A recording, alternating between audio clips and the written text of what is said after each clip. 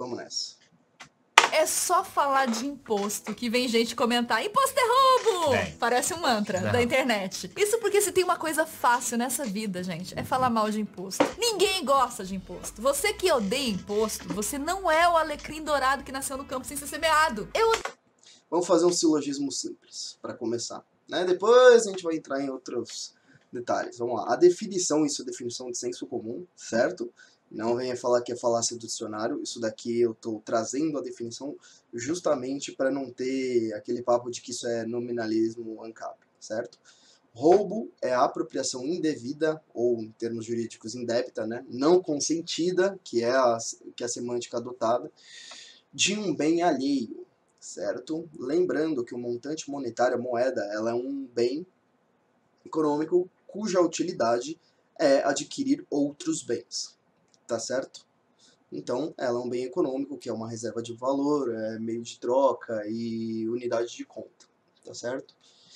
Imposto ele é uma imposição, ou seja, sem o consentimento, uma imposição é necessariamente unilateral, sem consentimento, não precisa do consentimento da outra parte, certo? De um encargo financeiro, ou seja, de um pagamento monetário, de um certo montante monetário, uma quantidade de moeda, sobre uma pessoa por um Estado. Então, existe essa imposição desse pagamento para uma pessoa que não depende do seu consentimento, que é exatamente o que eu coloquei aqui, que é basicamente um analítico é, do que a gente viu aqui, tá certo? O montante de moeda pagando imposto é um bem alheio, apropriado de forma não consentida, no caso, esse montante de moeda. Logo, imposto é roubo, certo? Por que imposto é roubo? Porque ele é uma apropriação indevida, indébita de um bem alheio, certo? Simplesmente isso, uma violação do direito de propriedade privada. Então vamos seguir. odeio imposto. Você não odeia imposto? Não, eu não gosto muito de pagar imposto, ninguém gosta de pagar, né? A gente só gosta de receber. Mas eu tinha um chefe que ele falava o seguinte: Luiz, meu sonho é um dia estar pagando um milhão de reais por mês em imposto de renda. E eu demorei tipo uns 5 segundos pra entender que, na verdade, se você tá pagando um milhão por mês em imposto de renda, que você tá ganhando muito mais dinheiro, né? É bom pensar por esse lado também, gente. Mas é ruim, Luiz. Mas é ruim. Mas a gente prometeu no vídeo que a gente explicou de por que que essa PMF do Guedes era uma proposta atrasada, que a gente ia vir aqui e falar de vários tipos de tributação, dos sistemas que funcionam a tributação, e é exatamente o que a gente vai falar agora. Mas assim, você vai continuar odiando pagar imposto, pode ficar tranquilo. Mas pelo menos você vai entender um pouquinho mais. Imposto é um dos tipos de tributos e tributo é tudo aquilo que o governo arrecada para si, para poder funcionar e prestar serviços como saúde, educação, segurança, por exemplo. Além do imposto, tem as taxas e as contribuições que também são outros tipos de tributos. Base Você sabe como empresas oferem receitas? Fornecendo bens e serviços voluntariamente pagos. Então, você tem tanto aquela mentalidade que eu não sei se vai ser abordada aqui, eu vou ver até o final, de que você precisa necessariamente do monopólio da produção de segurança para ter a lei propriamente dita. Só que na realidade a lei precede qualquer fornecimento do, da produção de segurança. Tá certo? O que nós temos é legislação que é diferente de lei. A lei é baseada em nomos, normas que foram evoluindo no processo social, e a legislação ela tem muito mais a ver com comandos. Eu esqueci qual que é o termo que o, que o Hayek usa, que ele tira da filosofia clássica agora, tá certo? Eu não sei se era nomos e táxis, agora me, agora me fugiu a memória. E aí era cosmos e teses, os tipos de sociedade. Mas enfim, o, a lei ela é do tipo nomos, que ela vem de um processo de aprendizado ininterrupto na cooperação social, e isso também explico de maneira geral como isso vai surgindo, né, baseado na ideia de ordens espontâneas, limitação de conhecimento, isso daí está no, no curso de economia austríaca. Já a legislação, ela é algo que é arbitrariamente, que é arbitrariamente positivado, uma lei positivada, digamos assim, certo? Que é uma lei criada por burocratas, que ela não tem nenhum respaldo no processo evolutivo social, tá certo?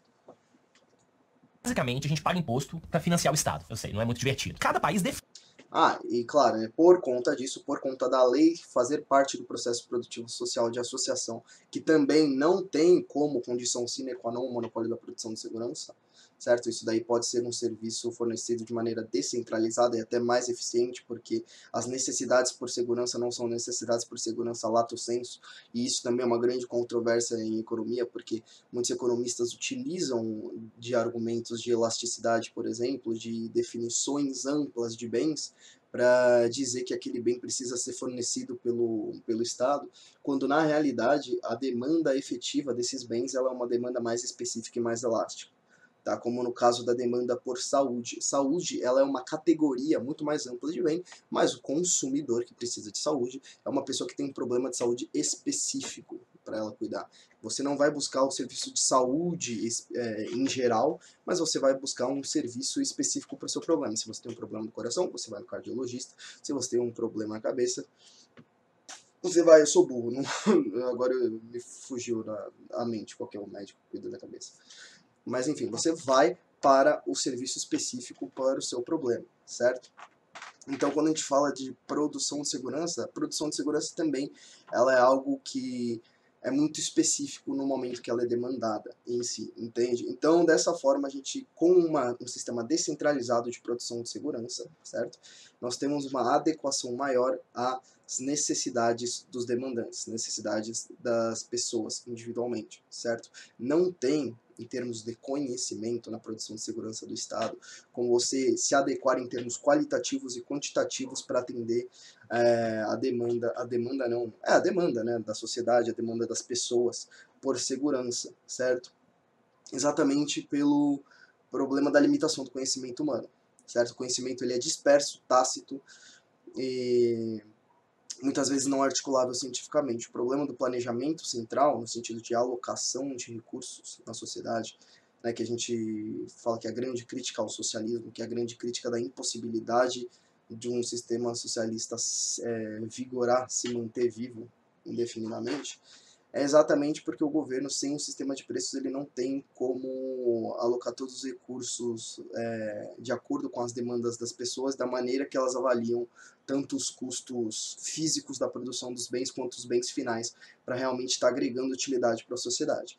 Agora, a mesma coisa serve com a produção de segurança, certo? Você tem um ente, certo? Uma instituição monopolista que não tem os incentivos de receita com base na criação de valor para o maior número de consumidores possível, que é igual à receita das firmas, que é preço vezes quantidade, que depende da disposição a pagar e do maior número de pessoas com maior disposição a pagar pelo produto, que é derivada da utilidade percebida do, do bem ou serviço ofertado. Você não tem isso com o Estado, porque ele recebe a receita dele de maneira unilateral. Então, já tem um desincentivo econômico para obter essa para obter essa receita, tá certo? Então você não tem uma não tem o consentimento dos governados. Agora, vamos para outro aspecto aqui. Ó. Contrato. Né? Muito se fala que tem o contrato social que legitima a, o monopólio do Estado, certo? Através de um consentimento de todos os governados de maneira unânime. Né? Só a existência de um anarquista já é necessário para deslegitimar, já é suficiente para deslegitimar esse consentimento em massa, né? Contrato é a formalização jurídica de uma operação econômica entre duas ou mais pessoas. Agora vamos entender o que é essa operação econômica. Existem duas formas de se obter riqueza, de acordo com Franz Oppenheimer, certo? O economista sociólogo. A primeira forma é a produção e a troca de bens, que é essa troca, essa operação econômica, certo? A operação econômica é uma troca consentida de bens entre dois produtores diferentes, que configura esse meio econômico de obtenção de riqueza. A outra modalidade não requer produção, que é o confisco de bens e serviços, o meio político de aquisição de riqueza.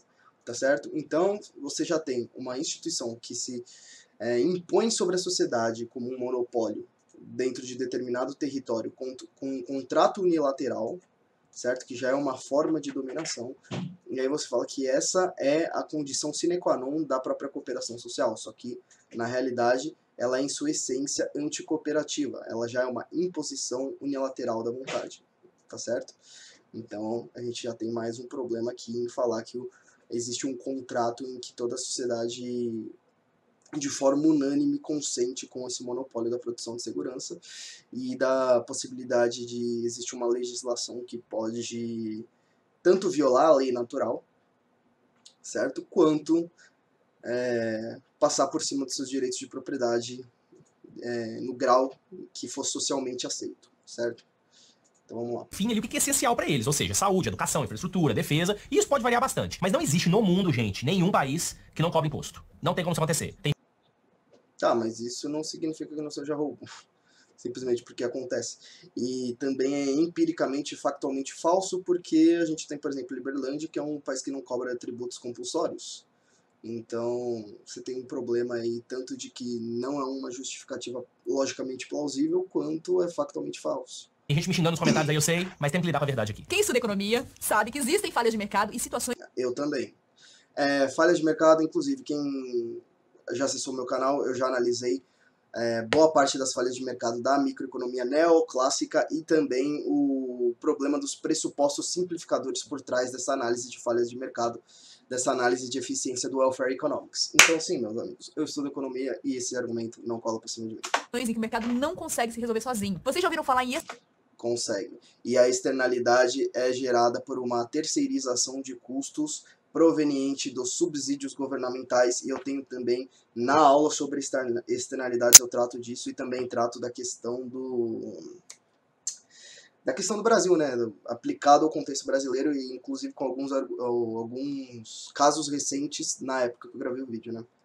Externalidades. Extraterrestres. Não, externalidades, gente. Em economia, externalidades são efeitos gerados indiretamente, de forma não intencional, por uma pessoa ou empresa, mas que impactam outras pessoas ou outras empresas que não tem nada a ver com aquela decisão tomada. Externalidades podem ser negativas ou positivas. Um exemplo de externalidade negativa, por exemplo, é o efeito de alguém fumando. Agora que é proibido nos restaurantes e tal, mas antes você podia sentar num bar, e mesmo se você não fumasse, tinha alguém fumando do seu lado e você sofria aquele efeito negativo. É péssimo. Eu lembro que eu saía, quando eu era mais novo, ainda podia fumar em bar, balada, etc. Eu voltava pra casa depois de uma noite, uma noitada, completamente fedendo cigarro. Tive que tirar minha roupa. É, mulher, pior ainda, né? O cabelo atrás. É, não, é horrível. Eu acho que muita gente na cidade lembra, por sorte os mais novos não vão lembrar. Então isso é aquele efeito negativo que tu escolhe uma outra pessoa, né? A poluição é a mesma coisa. Por mais que não seja intenção da empresa poluir, pra ela produzir o que ela precisa produzir, ela vai gerar aquela externalidade negativa. Mas tem externalidade positiva também. A educação, por exemplo, é um serviço que traz outros benefícios indiretos para a sociedade, por exemplo, como a redução da violência. Então, gente, a gente tem aqui a primeira forma para que um imposto é, e também tem aquela questão da externalidade ser positiva. A gente está falando, por exemplo, a própria definição de bens públicos vem disso, né? E que é uma definição extremamente confusa.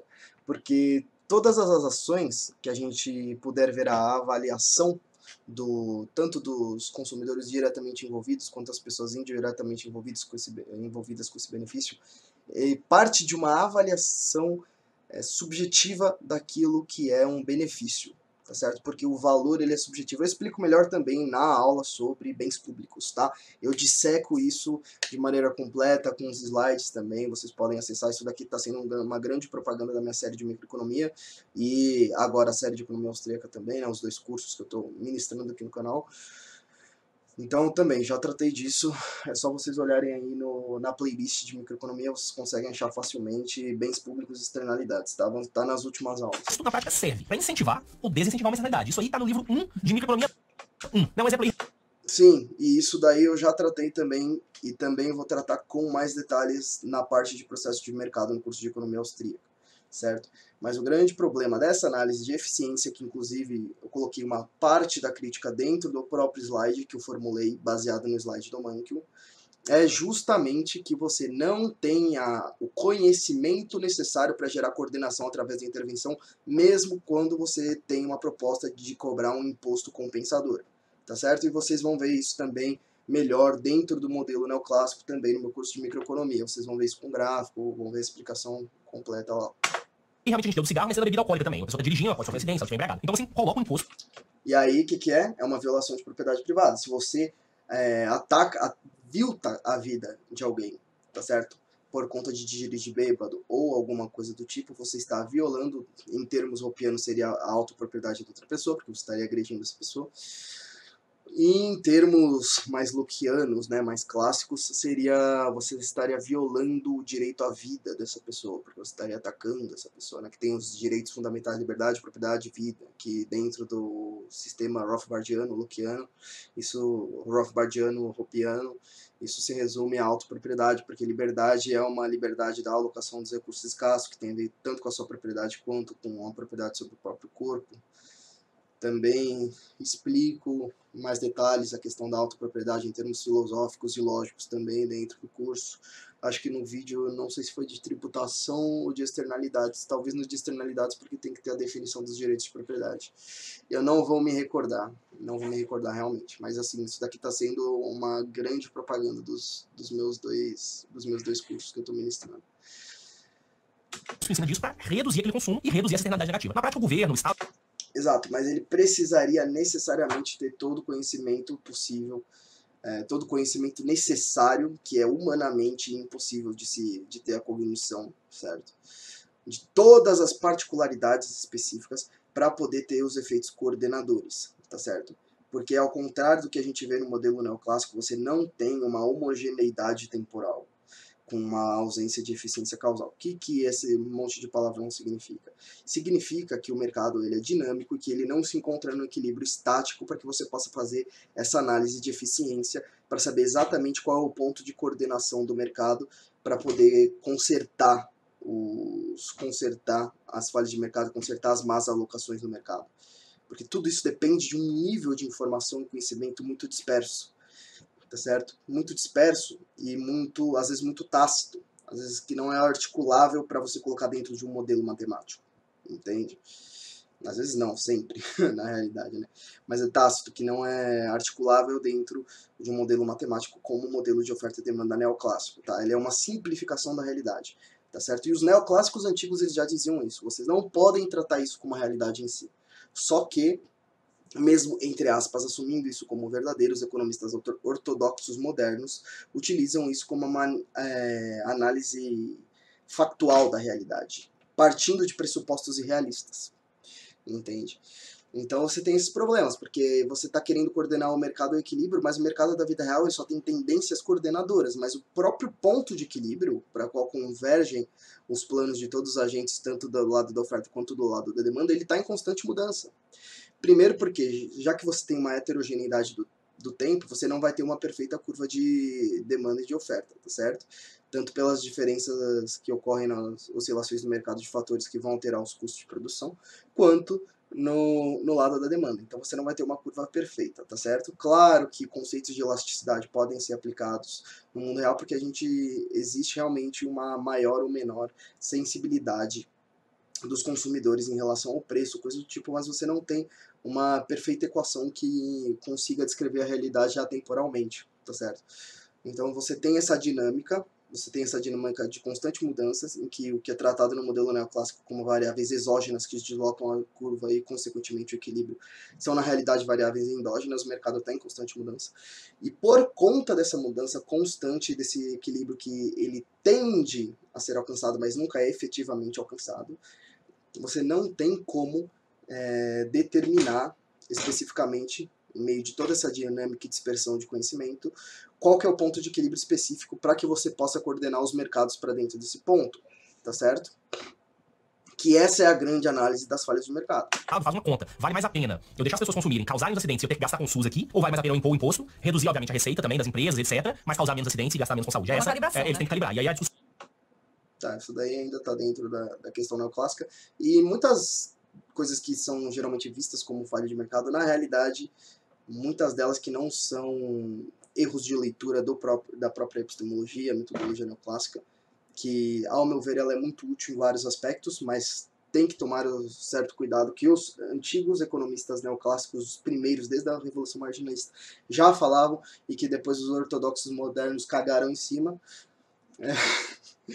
Também tem a questão, deixa eu ver que agora eu me perdi. Ah, a questão da violação dos direitos de propriedade. Porque é o seguinte, uma economia de mercado, um mercado propriamente dito, eles pressupõem, isso sim é uma condição sine qua non, ele já pressupõe os direitos de propriedade privada, porque ele existe através de trocas entre proprietários, tá certo? Até mesmo quando a gente fala de função empresarial, como não pressupor custos e, e, propriedade dos meios de produção, você ainda assim precisa ter um poupador anterior que te forneceu um empréstimo para alugar os fatores de produção e obter lucro empresarial puro, certo? Então você precisa, primeiro de tudo, da propriedade privada dos meios de produção e propriedade privada como um direito geral, certo? Porque é ela que é dela que vai derivar os direitos de liberdade e vida, que são direitos negativos, tanto a liberdade negativa quanto a, o direito à vida negativo, que é o direito de não ter a sua vida violentada por outro ser humano e também de, não, de ter a sua liberdade dentro do seu campo de ação e do consentimento das outras pessoas, certo? Então você já pressupõe dentro de, do meio econômico, dentro do, da cataláxia da economia de mercado, esse direito de propriedade privada. Quando você fala que existe uma externalidade como uma falha de mercado, que é uma violação de propriedade privada, como por exemplo no caso de dirigir bêbado, você já está entrando na contradição. tá certo? Porque senão é um problema do mercado, mas justamente da violação do direito que sustenta o mercado. Entende? E isso é um erro comum na leitura dos anticapitalistas. Então, quando você quer estimular Não estou dizendo que esse economista seja anticapitalista, de modo algum, tá? Estou falando que é um argumento anticapitalista comum. o consumo, você reduz os impostos e foi o que aconteceu com a redução do IPI, lembra? Quando redu- reduziram o imposto Tá, isso eu sei. Política monetária expansionista, o que, que ela faz? Reduz, é, reduz imposto e, e aumenta gasto. Tá certo? Vai entrar num déficit, o governo vai se endividar. Não é esse o cerne da, da discussão, assim como algumas coisas que eles já disseram antes também não é o cerne da discussão. Imposto sobre produtos industrializados. Isso barateou o custo de produção dos Até porque, ó, imposto é roubo. Isso é uma questão ontológica. Isso é uma questão de é ou não é. De ser ou não ser. Não da questão da eficiência ou coisa do tipo, tá? Até porque a questão da eficiência eu já analiso como economista, já analisei nos cursos e ainda vou é, fazer alguns cursos posteriores, principalmente de microeconomia, certo? Mas é uma questão muito mais de você entender a natureza das coisas, de você estudar, fazer juízos analíticos, é, fazer esse silogismo que eu fiz aqui para entender se se configura ou não na mesma definição, certo? Então não, se você for falar, ah, eu vou falar que redução de impostos estimula o consumo, porque é assim que funciona a política monetária expansiva, porque com mais dinheiro as pessoas vão ter uma restrição orçamentária que permite um consumo maior e blá blá blá blá blá. Isso não é ao caso, isso não é o cerne da discussão. carros e, consequentemente, aumentou o acesso. É, exato. E mexe diretamente no preço no final do dia, né? E na semana passada, por exemplo, o Guedes disse que pretende reduzir o IPI da linha branca. Linha branca, gente, o que que é aqui? Fogão, geladeira, máquina de lavar, etc, né? Isso aí viria no pacote como parte aí da reforma tributária, que vai reduzir o preço na prática desses itens. Agora teve um ponto polêmico também. Sim, né? tá tendo. É, que estão falando que vão tirar a isenção de impostos sobre os livros. E na hora que você tira a isenção, o preço dele sobe. Então, assim, já é um produto que E gente não é tão vendido, E a né? gente acabou de falar aqui de educação que gera uma externalidade positiva, né? Ou seja, as pessoas aprendem, reduz criminalidade, etc. A ideia de você não ter imposto nos livros, na prática, é que você aumenta, ao reduzir o preço dos livros, mais pessoas têm acesso. Eu concordo que os livros não devem ter impostos, mas principalmente os livros, mas assim, bens de maneira geral. Né? Só que isso daqui você está entrando na grande crítica kantiana, que é um imperativo hipotético. Você está entrando numa análise utilitarista da lei, sendo que a lei ela não é feita para atender à vontade de uma pessoa em particular, mas ela precisa ser necessariamente universal para que ela seja justa. É a questão de isonomia, tá certo? Até mesmo quando você tem uma forçação de igualdade econômica, você já tem uma ausência de isonomia, você já precisa ter uma um tratamento em questão de direito diferente entre pessoas de níveis de renda diferente, né? Então, você não tem é um trade-off, você não pode ter igualdade econômica e isonomia, igualdade de direitos, entende? A esquerda acha que dá, mas não dá. acesso, mais pessoas podem se educar. Faz sentido voltar a taxar livros? Quem que tá calibrando isso, né? Exato. Qual é esse sentido? Pode ter uma grande arrecadação, mas ao mesmo tempo não vai aumentar a pirataria. Hoje tem muito PDF digital. Aliás, né, isso que, que eu falei da isonomia tem muito a ver com a questão do, do que o Orwell fala no Animal Farm, que é todos os animais são iguais, mas alguns são mais iguais que os outros, né? e por aí vai. Então tem toda essa discussão que tá bem polêmica e bem atual, gente. Então, fica com isso em mente, tá? Além da função de arrecadar dinheiro para as atividades essenciais, o imposto pode ser usado como uma forma de incentivar ou inibir uma Não estamos falando de utilidade, estamos falando de natureza, certo? De um conceito, certo? De uma ação, no caso, né? Porque imposto é uma ação, certo? A cobrança de impostos é uma ação.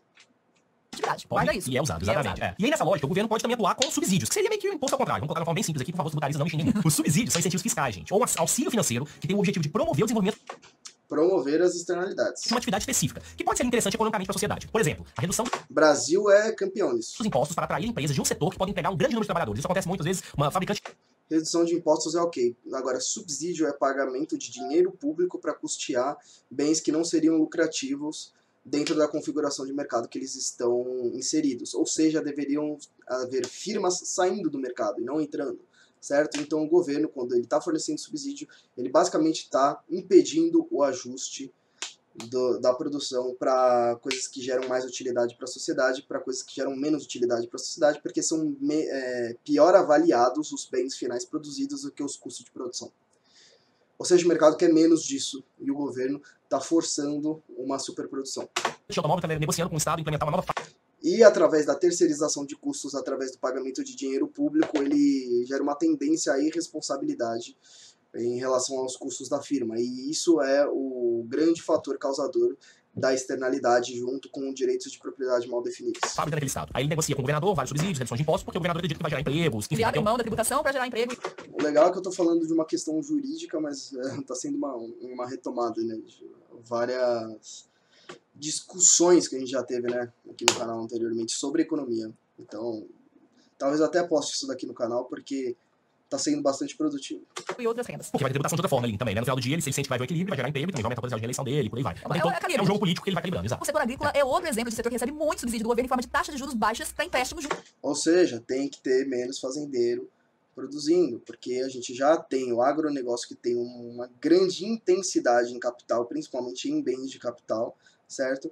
Cuja quantidade de ofertantes nesse mercado está sendo artificialmente mantida pelos subsídios governamentais. E além disso, a política de desvalorização monetária está fazendo com que toda essa produção agrícola não seja voltada ao mercado interno. Então o mercado interno fica desabastecido e a gente tem que importar muita coisa que a gente produz em território nacional.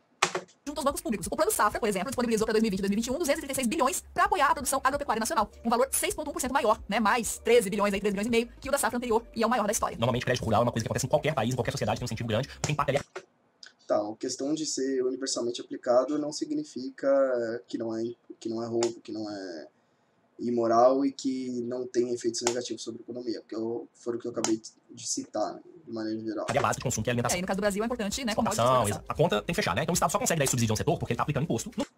É, é, importação e exportação tem que fechar dentro da ótica utilitarista macroeconômica de demanda agregada, né, na qual o produto também depende do saldo comercial, sendo que na realidade você meio que tem um equilíbrio entre as importações e exportações, porque com as importações você dá mais divisas para os para os governos estrangeiros. Divisa, no caso, vai ser a nossa moeda internacional, que vai ser divisa para o governo estrangeiro.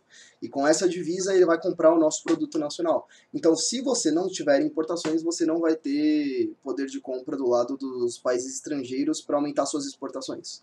Tá certo? Então, também tem uma, um grande problema nessa ideia de é, saldo comercial, porque parece-me que é um jogo de soma zero, quando na realidade não é. Tá certo? Não é que para um país ganhar, o outro tem que perder. Os países podem se beneficiar mutuamente do comércio. Isso a gente sabe desde Ricardo com a lei das vantagens comparativas um outro setor, né? Então, assim, é, cobrar e distribuir a carga tributária é um dos temas mais complexos discutidos no mundo. No Brasil, a gente fala, por exemplo, que a carga tributária é elevada. Por exemplo, em 2016, a instituição fiscal independente do setor. Carga tributária é elevada porque a gente é um país burocrático e dispositivista. O IFE apontou que a carga tributária brasileira representava 32,3% do PIB. Se a gente pegar como referência de comparação, a média aí da carga tributária de países da OCDE foi de 34%. Não tá tão fora, né? Estaríamos até bem, na verdade. Mas essa, obviamente, não é a única coisa que a gente olha quando avalia a carga tributária do país. Esses números podem passar a ideia de que tá tudo bem, mas os especialistas em tributo, os tributaristas, defendem que o nosso modelo tá muito ultrapassado. As críticas vão em duas direções. Primeiro, que a carga tributária brasileira é muito complexa e burocrática. O ICMS, por exemplo, que é um imposto cobrado pelos estados, tem 27 regras diferentes, porque cada estado e o Distrito Federal podem definir como esse imposto é aplicado. E a segunda não, o legal é que esse federalismo na prática é só no papel mesmo. Crítica é a forma como a gente arrecada, que acaba promovendo mais desigualdade. Isso porque quem recebe menos acaba pagando mais proporcionalmente. Exatamente. Olha só, né? A gente tá falando de imposto de renda regressivo, né?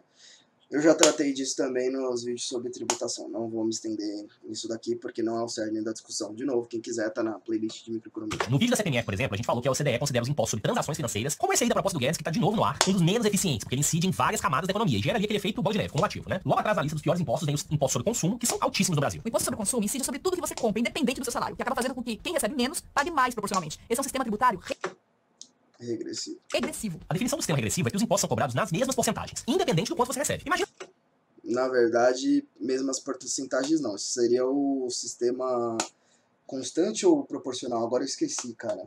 Eu esqueci. Isso daí tá também na aula de tributação. Mas o imposto de renda regressivo é o seguinte: você tem o mesmo montante em termos absolutos e em termos percentuais, ele regride conforme a renda aumenta. Tá? Não é não é imposto proporcional. Imposto regressivo é que ele regride conforme a renda aumenta. Ou seja, percentualmente menor conforme a renda aumenta. Não é, por isso que é regressivo, não é a mesma proporção. Tá? Em termos absolutos é a mesma coisa, em termos percentuais não, conforme a renda aumenta. E, por exemplo, o arroz aí no supermercado. O imposto sobre esse produto é de 17,24%, independente de quem compra, gente. Dessa forma, quem tem um salário mais alto vai pagar o mesmo imposto por esse mesmo saco de arroz. Que uma... Tá certo. E aí você está falando da, do percentual sobre o valor cobrado do produto em si, não sobre a renda do, a renda do comprador certo? Por quê? Porque dependendo do preço do produto e não do, e não do salário do consumidor, que esse imposto vai ter um valor absoluto X ou Y, certo? Então, assim, você pode falar que é percentualmente igual para o preço do produto, certo? O que já não faz nem sentido você utilizar o termo igual, tá certo? Agora, percentualmente, em relação à renda dos consumidores, já que a gente está analisando o fato de ser regressivo, ele é, é, progressivamente menor conforme a renda, a renda, oh, caramba, a renda aumenta, certo? Pessoa que não ganha um salário mínimo, por exemplo. Fazendo com que o valor de imposto proporcional pago no arroz pese muito mais no bolso de quem já não tem tanto. Mas Exato, mas não é proporcional, é regressivo, né? É proporcional no sentido de percentual sobre o sobre o produto em si, né? Não sobre a renda. pobres acabam pagando proporcionalmente uma parcela maior de tributos sobre a sua renda. Essa é a natureza do ICMS, do IPI, do PIS e do COFINS. Sim, que foi o que eu acabei de falar. Mas nem só regressivo é o imposto, ele também pode ser progressivo. Pois é, no sistema progressivo, E aí já o progressivo ele vai ser relativo à renda. Conforme a renda aumenta, a quantidade cobrada também vai aumentar. Só que também, como eu falei na aula, isso vai gerar um desincentivo à, à produtividade. Agora, se você tiver um imposto de renda é, proporcional, tem mais problema de contabilidade, é, corrupção, descaralho, como a gente também analisou na aula. Né? A grande questão é que ninguém deveria é, pagar dinheiro por um serviço cobrado unilateralmente sem satisfazer as necessidades dos consumidores. Como que a gente, numa sociedade libertária, faria a questão da produção de segurança? Porque a produção de segurança seria uma externalidade positiva, certo? Se a gente tivesse uma organização social libertária, mais ou menos como o Hoppe fala no Democracy the God That Failed, em que a gente se basearia num, num modelo de organização de centros comerciais como shopping centers e condomínios fechados.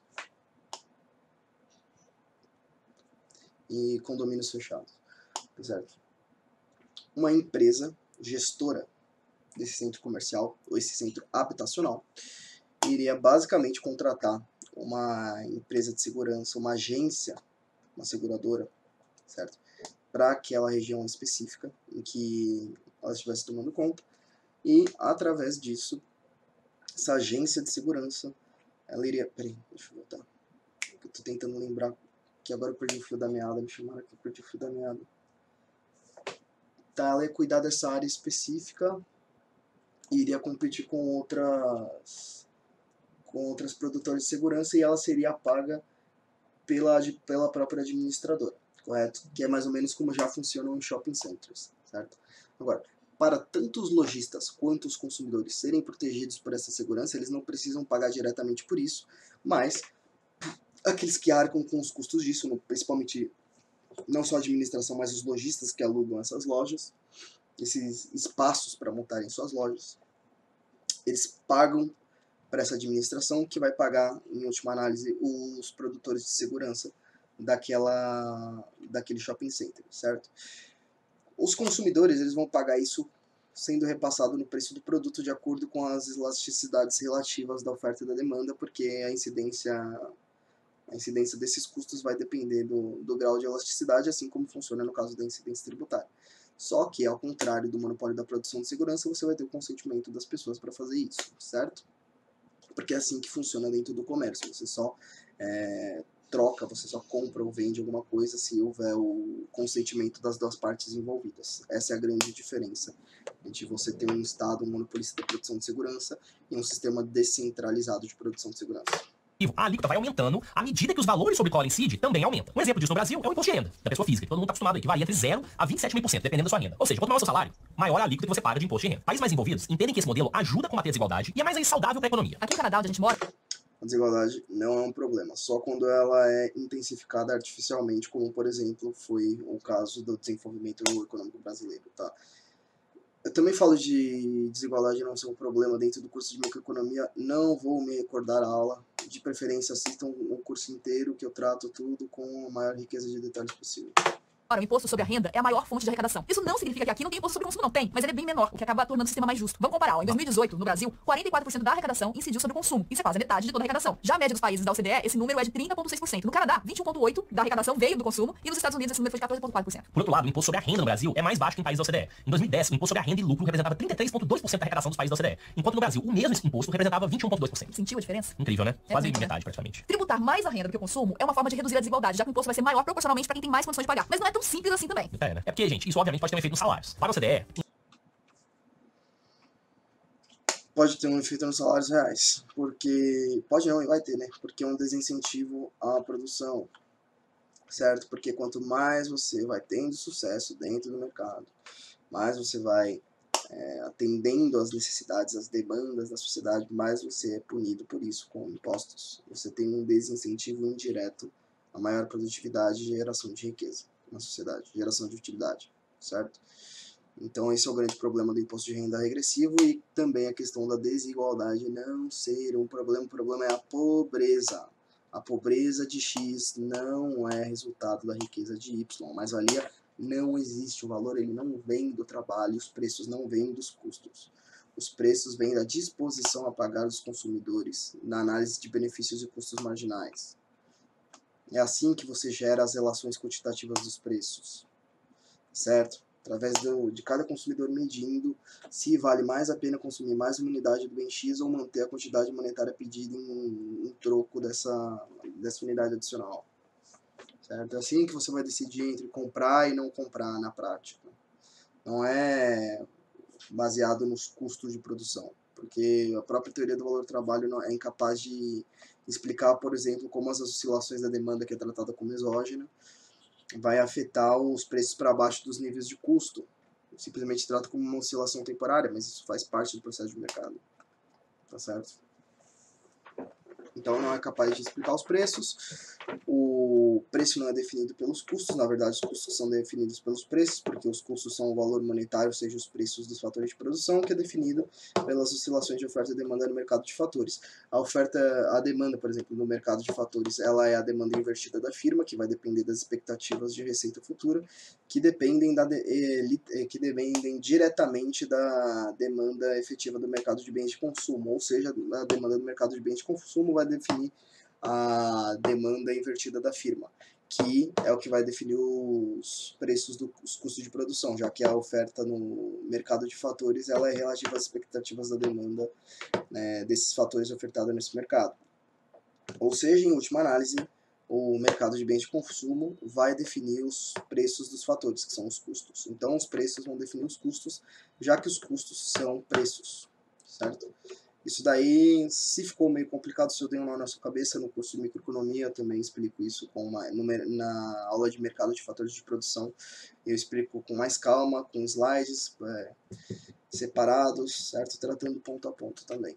Um imposto sobre propriedade seria mais eficiente, porque distorceria menos ali o mercado de trabalho e as decisões de produção e de investimento das empresas. No Brasil, Não seria mais eficiente porque você tem um desincentivo crescente à produtividade. tem outra complicação que é o nosso pacto federativo, a relação e a distribuição de imposto entre os municípios, os estados e o governo federal. O nosso modelo estabelece grande parte das obrigações, como educação básica, transporte, assistência social, como responsabilidade dos estados e municípios. Só que a maior parte da arrecadação é feita pelo governo federal, que depois repassa parte dos recursos para os estados e municípios. Aí você tem um desequilíbrio. E então o que acontece? Quem mais arrecada imposto é a União. Enquanto os serviços que a gente mais vê aí no dia a dia são aplicados pelo Estado ou ao município, como saúde, educação e etc. Por isso, né? Porque os, os serviços precisam de subsidiariedade. Quanto mais centralizado você tem, mais dificuldade em obtenção de conhecimento você tem, já que o conhecimento é disperso. o foco da discussão no Brasil talvez não esteja muito ligado ao tamanho da carga, ou não deveria estar muito ligado ao tamanho da carga. E sim como modernizar esse sistema, para a arrecadação ser mais justa e para o dinheiro chegar assim mais precisamente onde ele é necessário na prática. Aqui no Canadá, a gente paga muito mais imposto do que no Brasil, tanto como empresa como, como pessoa física. Mas é menos sofrido pagar, gente, falando da ótica pessoal, porque você vê o retorno em forma de segurança, saúde, ah, você vê que o povo é bem educado, isso traz umas vantagens pra você. Por exemplo, quando eu tra- trabalhava, não como na startup agora, mas uma O povo ser bem educado não tem correlação nenhuma com a cobrança de impostos. Isso daí tem a, é, relação com a cultura do povo em si. Empresa é, multinacional, é, a minha experiência E mesmo quando você trata do retorno, você tem que levar em consideração que existe uma perda de peso morto enorme em trocas mutuamente benéficas que deixam de ser realizadas com redução da renda, proporcionalmente ao montante do imposto. pessoal é até interessante, porque eu saí de uma situação na qual eu era empregado numa empresa multinacional, tinha um salário razoavelmente alto, eu chegava a pagar 50%, a alíquota mais alta, 50%, no Brasil a mais alta é 27,5%, gente. Eu pagava o dobro, praticamente, da alíquota mais Metade do alta. salário. Metade do salário a partir daquele momento, né? Você sente aquela facada. Ao mesmo tempo, você sente também que você tem os serviços todos sendo prestados em altíssima qualidade, uma qualidade muito boa, que são amplamente é, disponíveis, não só para pessoas de classe média, classe média alta, como pessoas também que não têm as mesmas condições que você tem. Então te dá esse sentimento que você tá tendo esse retorno. Eu acho que o grande problema do Brasil é que você tem, óbvio, a questão da regressividade, você tem, óbvio, a questão do pacto federativo, mas você tem esse sentimento que você não tá tendo aquele retorno. Isso faz as pessoas que, mesmo pagando imposto de renda ainda baixo, acharem que é alto, e as pessoas que, mesmo pagando imposto de renda baixo, ou seja, de renda menor, ainda assim pagam impostos altos no consumo. Perde pra todo mundo. É. Não ganha, ganha, perde, perde. Não, perde, entendeu? perde. E eu acho que é isso que tem que ser endereçado numa reforma tributária, muito mais do que tarifa pra cá, taxa pra lá, contribuição pra cá, imposto aqui, ali, livro, etc. É como a gente rever esse sistema como um todo, não é só falar de CPMF. E a gente não tá vendo isso, né, Nilson? A gente não tá vendo essa A discussão em gente tá pauta, dando né? band-aid, na verdade. A gente É. tá com uma ferida gigante, né? Que é responsável por toda a crise de qualidade de vida do país, essa que é a verdade. E as medidas apresentadas, elas são insatisfatórias, elas são paliativas, elas não vão resolver. Eu vou dar um exemplo. Quando eu trabalhava em empresa no Brasil, eh, as empresas eram exportadoras. E o que, que acontece com empresa exportadora? Você paga o ICMS, fica com o crédito daquele ICMS, mas você não consegue descontar aquele crédito porque você vende produto pro exterior. Normalmente você recolhe ICMS e quando você vende pro próximo, você abate aquele crédito. Como é uma empresa do exterior, isso não acontece. Então você fica com crédito. E aí, existe na lei que você deveria, o Estado tem que te reembolsar esse crédito. Isso acontece aqui no Canadá. Sim. Acontece no Chile quando eu lá. Toda empresa exportadora, recebe dinheiro do governo em crédito de volta, por esse crédito de ICMS, ou de VAT, ou de IVA, etc. Só que o que acontece? Como cada estado tem sua regulação, os estados fecham a porta, recolhe, você recolhe o ICMS, pagou pro estado e ele não te devolve. Ou te devolve em diversas parcelas, ou no mercado secundário que você tem um deságio enorme. É um negócio controlado por quê? Porque como tá a parte de cada estado e o estado também não recebe às vezes o repasse da União, isso acaba virando uma briga que você tem o governador não se dá bem com o presidente, que não se dá bem com o prefeito, então é uma coisa não é organizada. Né? E, gente, isso obviamente impacta no quê? Na vontade das empresas investirem, contratarem mais gente. Porque se eu não sei que eu vou ter meu imposto de volta que eu tô exportando, por que eu vou contratar mais gente pra produzir mais? Então você fica naquela incerteza, isso gera um ambiente de risco que ninguém gosta. Tributo é uma discussão que pode ser mais profunda e é trabalho pra muitos especialistas. A gente espera que esse vídeo tenha deixado alguma coisa mais clara pra você aprender mais. E aí você pode pegar esse e conferir outros vídeos aqui do Cesta Básica e divirta-se. Tem vários aqui. Clique aí. Até mais. Bom, deu para discutir muita coisa, deu para recapitular muita coisa do curso, só que legal. Eles, pelo que a gente deu para entender, na visão deles, imposto não seria roubo, só que em algum momento do vídeo eles deram essa resposta. A pergunta do vídeo? Não, né? Eles não falaram nem sim nem não. Ou seja, qual que é o cerne da discussão, gente? Fugiu totalmente do cerne da discussão, velho. Mas tá bom, tá bom. Deu para rever muitas coisas, deu para fazer uma puta propaganda. Quem quiser aí, olha meu curso de microeconomia, tem muita coisa legal, cara. Eu acho o, o modelo neoclássico um tesão. Mas claro, nem sempre ele vai estar tá certo. Tem algumas ressalvas a serem feitas, mas para mim tem ferramentas analíticas muito bacanas, muito poderosas. Tem muita coisa complexa, muita coisa que cheguei a passar por cima, então acredito eu que tenha ficado um pouco de economês, um pouco de terminologia complexa. Mas, no geral, eu espero que vocês tenham entendido. Para mais informações, coisas que tenham ficado não muito claras, aí tem os cursos de microeconomia, vocês podem falar diretamente comigo, minha DM do Twitter é aberta, fala nos comentários. E é uma coisa que já chegaram a me perguntar também, em comentários de vídeo, coisa do tipo, então espero que eu tenha pelo menos dado um certo direcionamento para vocês, tá? E é isso. As referências aqui que eu do que eu usei de argumento basicamente está no livro do Mankio, de Introdução à Microeconomia, que é um, um, livro de introdução mais geral, né, princípios de microeconomia. Também você vai achar em outros livros de microeconomia como Varian, Nicholson, geral Pindic também. É, sobre bens públicos, Economics and Ethics of Private Property, Economia e Ética da Propriedade Privada, do Hans Hermann Hoppe, a Democracia o Deus que Falhou também, eu cheguei a usar, não vou me recordar o momento agora, mas eu cheguei a falar na hora que eu, que eu trouxe essa tona, a questão de externalidades, ação humana do Mises, também está no meu curso aí de microeconomia. Bens públicos, eu já falei. Questão do monopólio natural, tem o livro Uma Teoria do Capitalismo e do Socialismo do Hans Hermann Hoppe também. É, questão de expansão monetária, a ação humana também trata, um livro bem completo sobre teoria econômica, sobre epistemologia e sistema neoclássico. Se quiserem mais obras a respeito de teoria do conhecimento, certo? A gente vai ter os livros do Mises, por exemplo, Fundamento Último da Ciência Econômica, é, Teoria e História, também é um livro bem bacana sobre a questão da epistemologia austríaca. Também tem um livro do Menger em inglês que era Problems of Sociology and Economics. Não sei se é esse o nome com, é, acurado do livro, mas também dá para encontrar ele. Assim, PDF não não está muito fácil, mas dá para importar esse livro, um exemplar dele.